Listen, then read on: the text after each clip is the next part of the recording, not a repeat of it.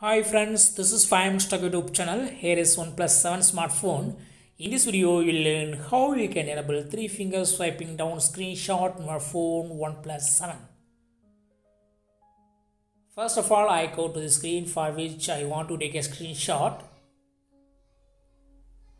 I open Google Chrome and from this page I need a screenshot. I try with 3 fingers swiping down. It's not working if it's not working in your phone you can enable it. Go to the settings of your phone here and uh, click on buttons and gestures.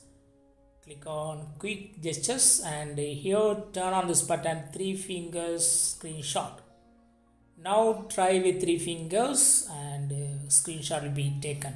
Yes just swipe down along the screen and screenshot will be taken in this way, you can easily enable 3 fingers swiping down screenshot on your phone OnePlus 7.